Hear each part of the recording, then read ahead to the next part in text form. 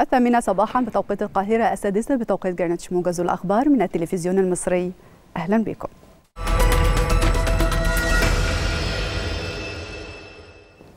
شارك الرئيس عبد الفتاح السيسي أسر وأبناء شهداء القوات المسلحة والشرطة احتفالية عيد الفطر المبارك والتي أقيمت في العاصمة الإدارية الجديدة.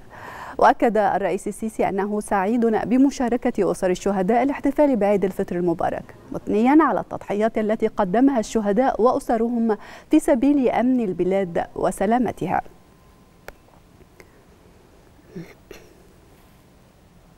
واصل جيش الاحتلال الإسرائيلي قصفه العنيف على مناطق متفرقة بقطاع غزة.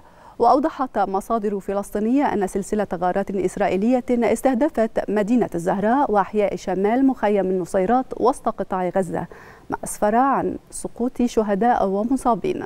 كما استهدفت الزوارق الحربية الإسرائيلية غرب مخيم النصيرات وسط قطاع غزة وكذلك محيط منطقة أبراج حمد السكنية غرب خان يونس.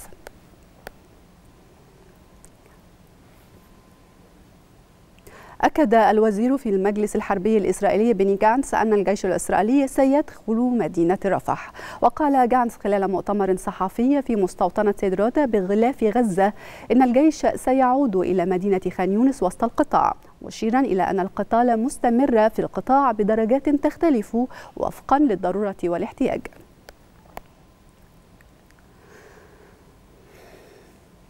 قال موقع أكسيوس الأمريكي عن مسؤولين إسرائيليين إن قائد القيادة الوسطى الأمريكية يزور إسرائيل اليوم للتنسيق بشأن هجوم إيراني محتمل.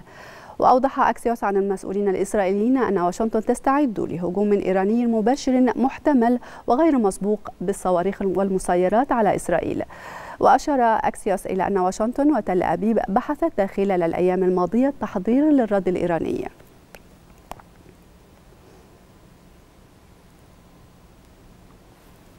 أعلنت الولايات المتحدة أنها ستقف إلى جانب إسرائيل ضد أي تهديد من إيران.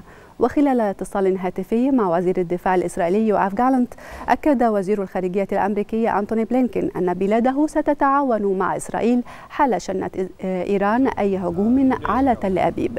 وأكدت الخارجية الأمريكية أن بلينكين وجالنت ناقشا أيضا الجهود الجارية بهدف إطلاق سراح جميع المحتجزين من خلال اتفاق لوقف فوري لإطلاق النار في غزة.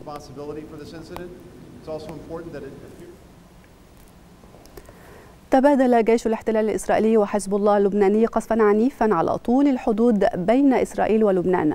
وقال جيش الاحتلال إنه تم قصف مبنى عسكري لحزب الله في عيتا الشعب أثناء وجود عناصر من الحزب داخله مشيرا إلى أنه قصف أيضا بنية تحتية عسكرية لحزب الله في منطقتي الخيام والناقورة بالجنوب. من جانبه أعلن حزب الله أنه قصف بالمدفعية موقع السماقة في تلال كفر شوبة اللبنانية المحتلة. ما أسفر عن تحقيق إصابات مباشرة في جنود الاحتلال.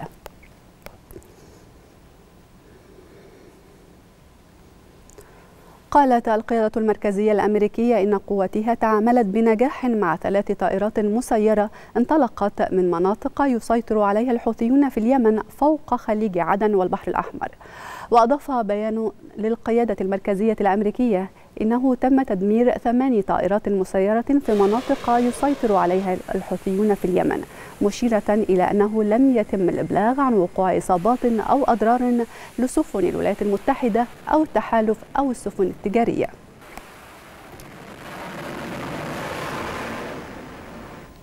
قال رئيس الوزراء الهندي ناريندرا مودي إنه يتعين على الهند والصين حل النزاع الحدودي الذي طال أمده بشكل عاجل.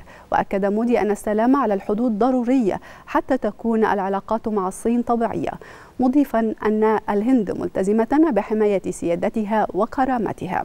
وتوترت العلاقات بين الهند والصين اللتين تتشاركان أو تشتركان في حدود جبلية ممتدة منذ أن اشتبكت قوات البلدين على حدودهما المتنازع عليها في جبال الهيمالايا مما أودى بحياة 24 عسكريا في 2020